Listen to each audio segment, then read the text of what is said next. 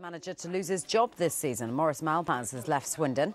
Malpas was in charge for 10 months at the county ground. Swindon are 17th in League One and lost to non-league Histon in the FA Cup last weekend. I had a long discussion with uh, Maurice yesterday. We both agreed to go away and uh, sleep on it, um, and then came back uh, this morning first thing, and decided that the best uh, uh, the, the, best way forward was for him to uh, to leave the club. Have you had any applications so far? Uh, inevitably, yes. Um, uh, we've had the unofficial applications of people who turned up here uh, uh before Maurice uh, left, and uh, we've had um, no, we, have had a, a, couple, but um, that's what you would expect. I mean, there's there's kind of no there's, there's, not much love lost in football. Um, there are managers out there who are looking for jobs. of course, one of the big issues is that the, the manager that you're looking for may not apply, and um, because he may either be in a job or he just may think you want to come to him. With manager Maurice Malpas after just 10 months in the job.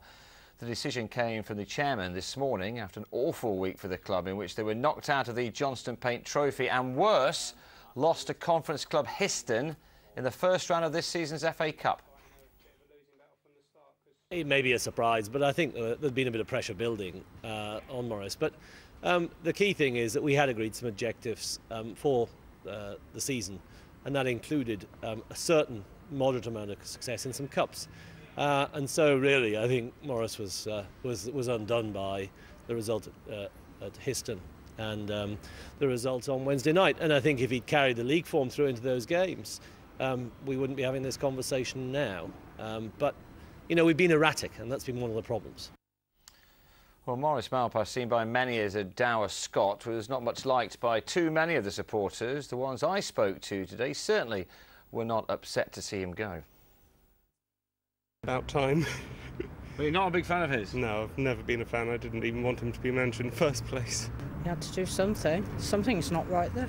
About time. Good, about time. Not a fan? No. What was he doing wrong? Just no experience, wasn't good enough, was he? And that was it we need results. And uh, every time he, he put a squad on, we just didn't seem to get the results. They didn't play as a team. So the question now is who will be the latest to take what is not so much a hot seat at the county ground, but more like an electric chair. Many would like John Ward or another former Cheltenham manager Steve Cotterill or Aidy Boothroyd who left Watford last week. He's a possible. Former Bristol Rovers player and manager Ian Holloway is looking for a return to management and lives in North Wiltshire but he seems to have upset Andrew Fitton by being seen at a Swindon game recently. Uh, the chairman also seemed to be reluctant to select from Swindon's great days of the Premier League with someone like Martin Ling at Orient or the uh, youth team coach Paul Bodin. Well, there's some big news at Swindon today. Manager Maurice Malpas has left the club by mutual consent. The decision was announced by the club this morning. Town had a poor start to the season, but this week's shock FA Cup exit to non-league Histon, followed by defeat in the Johnstone's Paint Trophy, signalled the end for Malpas after just 11 months in charge of the club. It may be a surprise, but I think uh, there's been a bit of pressure building uh, on Maurice. But um, the key thing is that we had agreed some objectives um, for uh, the season, and that included um, a certain moderate amount of success in some cups.